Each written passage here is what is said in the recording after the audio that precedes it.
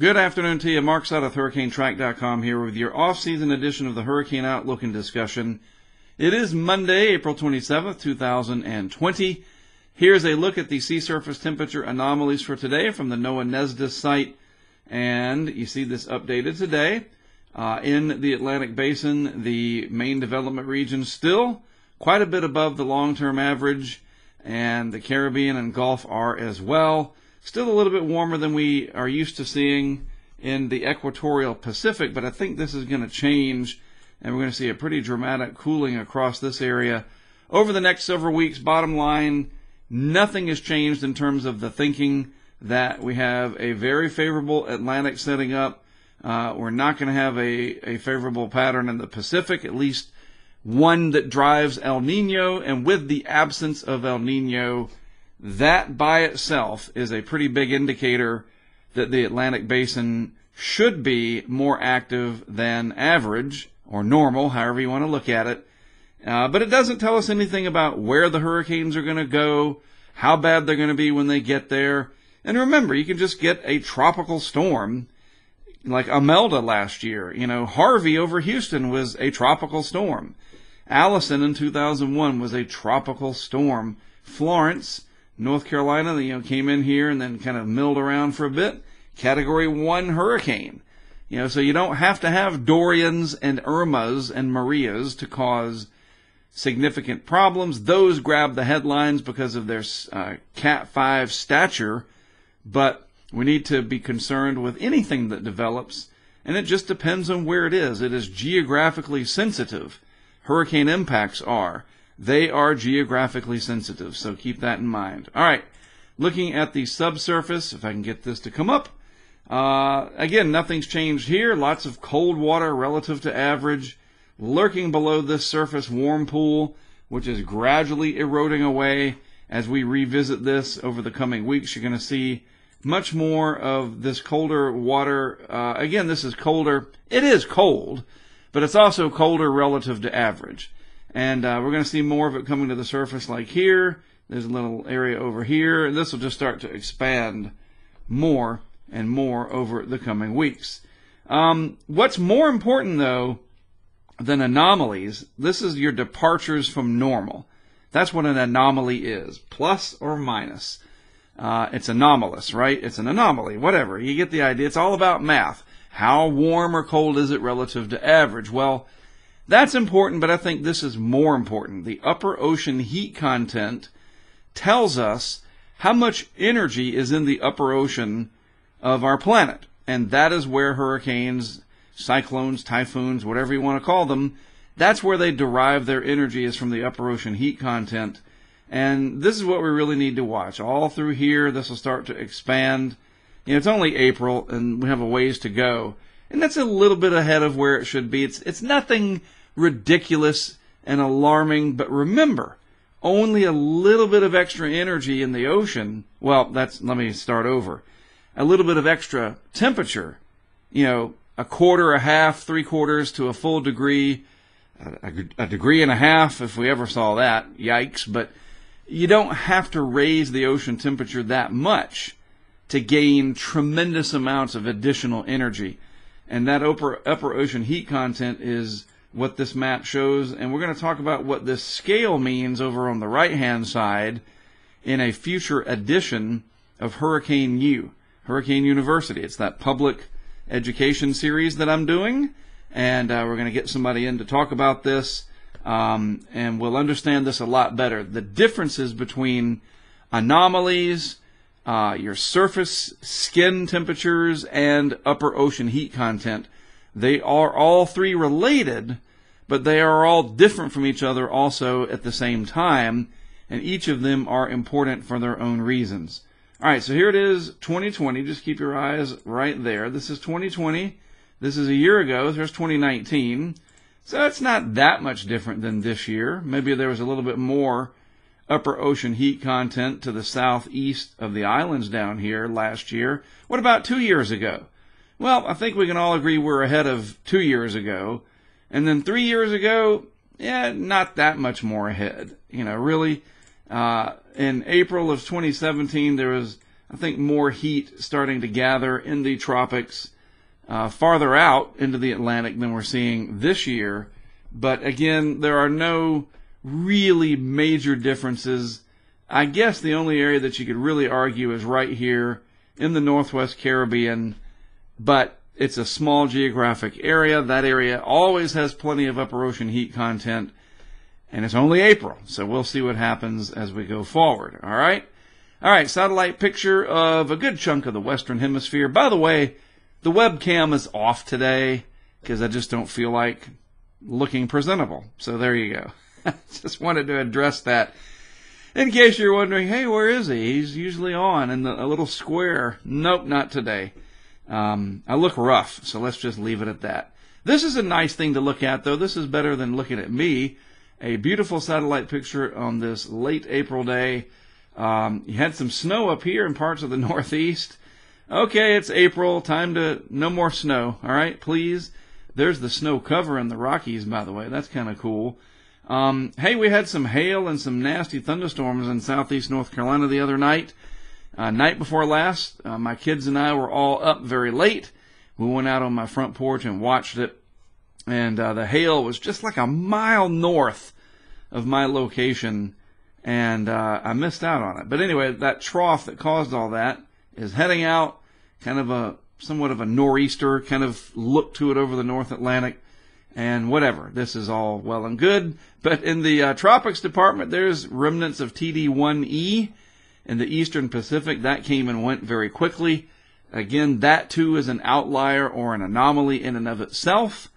Um, you know, there's still some energy down here in the tropics. You can see it down there. It's trying. We're getting closer to the. Hey, there's the dog chiming in. I don't know if you hear that, but once in a while the dog participates uh, we're getting closer to the uh, start of the East Pacific season officially. TD1E there made it unofficially earlier this year. I guess it's official since the Hurricane Center it, it did advisories on it, but whatever, you get the idea. This to me was just interesting. I don't think it means anything. Sometimes records are meant to be broken. You notice down in the Caribbean, just good steady trade winds coming through here a few puffy clouds and some light showers that you wouldn't even be able to see on this uh, satellite shot. Passing through portions of the Caribbean and the islands down there, the Caribbean islands, uh, whatever. I'm just the dog threw me off my my uh, my groove. Um, no organized disturbances. That's what I'm trying to say, and we can see that in the vorticity signature. Still, in the North Atlantic, let's use a color that helps us pop everything. How about white? You know, there's your upper, uh, your, what am I trying to say? Your, well, this is the 850 millibar level, so it's about 5,000 feet in the atmosphere, so it's not upper levels, but it's all in the higher latitudes, the energy. That's what I'm trying to say. That's still confined up here in the, uh, you know, the higher latitudes, the subtropics and beyond down here in the deep tropics, a little bit more energy. And this is just to me one of the tools that I like to use because I can track these little impulses of energy that come across. There's always a constant flow of it off of South America. And there's a few little areas here in the Eastern Pacific. But watch as we go forward. I mentioned this several weeks ago. These will become less and less. We'll see these less and less, and they'll start to increase down here as the seasons continue to evolve from winter to spring now, and then spring eventually into summer, and the start of tropical cyclone season in the Western Hemisphere. Anything coming up? Well, if this is a, an analysis of what it looks like, not necessarily right now, this was valid at 1500 UTC, so it's several hours old, but this is the model forecast of the same portion of the atmosphere, the vorticity signature at 850 millibars up. And I use this often during hurricane season. Here is our coastline of the mid Atlantic. There's the Capes of North Carolina. South Carolina, there's Florida. That's a terrible Florida. I'm just trying to show you, just to get you geographically oriented. there's North America, all right? Most of it. Parts of South America, too. The Caribbean islands through here, including the Greater Antilles. All right, now that you have that horrible geography lesson. What are we looking for? Well, if we go out in time, you see in the upper uh, latitudes, the, the northern latitudes, those little pieces of energy, there's a strong cold front right there. And the trough dug out. You can clearly see stuff like that. But do we see anything trying to bundle in circular fashion down here or over here? No.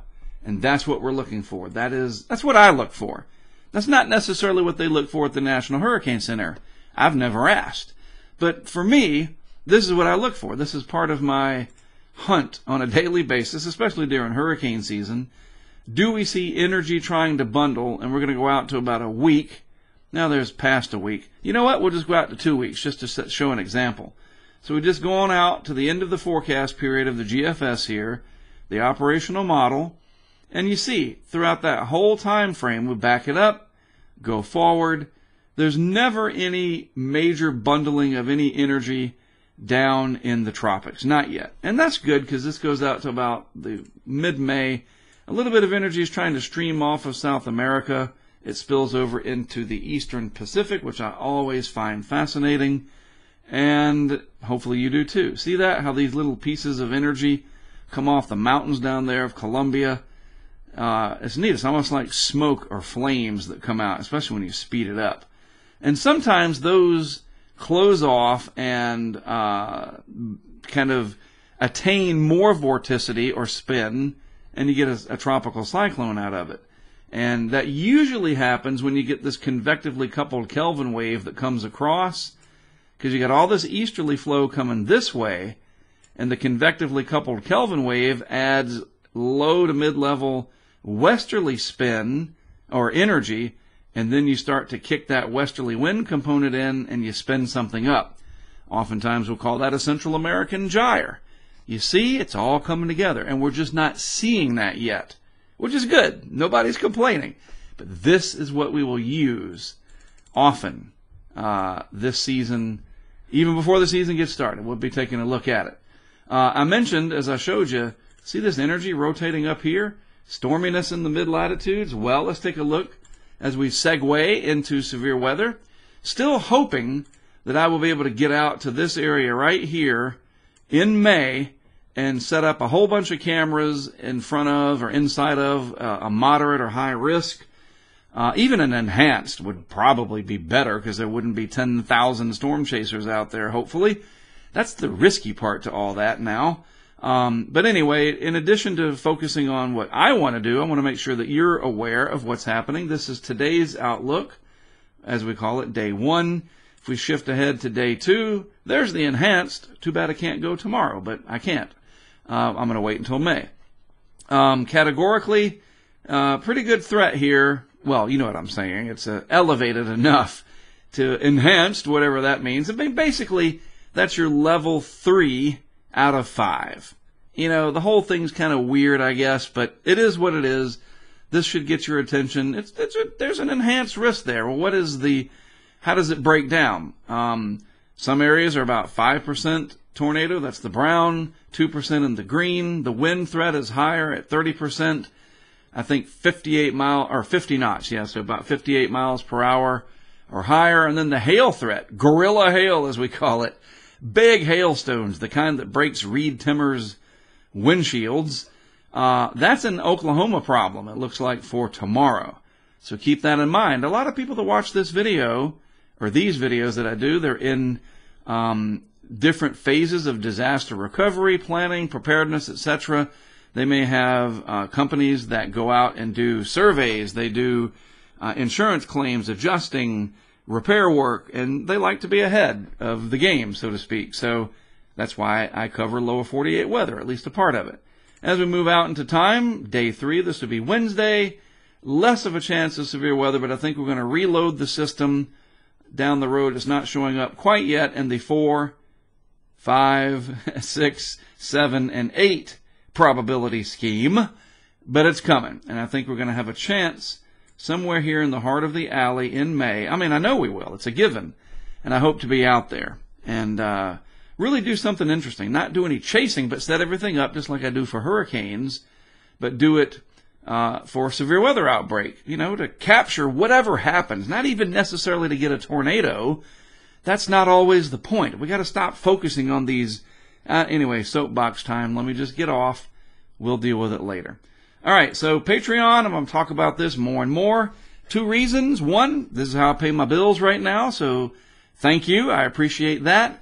Two, it is an incredible way to get information to you guys who are supporting my career. And right now we got 255 of you. And so what I what am I doing? Well, I'm making posts. You guys always see it first here on Patreon. Some of them I do make public because again, the bottom line is to serve the public, but I got to be able to earn a paycheck doing so. Uh, got my podcast series on here, which is only available on Patreon. And even at the $1 level, you know, at the very lowest level tier, you get access to the, to the podcast, our original series, um, anything that I'm posting, it, it goes, look at this. This is neat. A lost tapes kind of deal from Hurricane Ivan, only on Patreon. This is the benefits of supporting uh, my efforts. And so I'm going to do this more and more. Uh, we'll talk about it more. I'm actually going to put together like a video, a two minute explainer. How are we using Patreon? What can you gain from it? And how do you um, sign up? You know, if you do, what do you get? And I'll go over that soon. It's almost time. Hurricane season's almost here, and we got to get ready. So I'm still trying to figure out who I'm going to have Wednesday for Hurricane University, or Hurricane U as I call it. Um, so stay tuned to my social media. I'm on Twitter, right there, at Hurricane Track. Patreon, by the way, and I'll put the link in the YouTube description, but it's everything's Hurricane Track. So twitter.com slash hurricane track, facebook.com slash hurricane track. You see where I'm going with this? YouTube, Patreon, I think even Instagram. It's all the same thing. That's my brand, Hurricane Track. So that's where I am. And I'll be talking about, uh, as I figure out who I'm going to have Wednesday and what the topic will be. You know, even though people are working from home, they're still busy. And not everybody's waiting around for Mark to email them and ask to be on the broadcast. So I'm trying to figure out who's available and what we're going to talk about. So stay tuned for that. All right. And hey, listen, thanks for tuning in. I appreciate it. Uh, I know it's been a rough 12 weeks for the world and, you know, certainly in the United States where unfortunately we're number one in leading the way in COVID-19 problems apparently. And I recognize that. I'm not ignoring that fact. And that being said, you know, we're going to have to face this hurricane season, and I'm going to approach it from a very positive standpoint in that we have experience with hurricanes.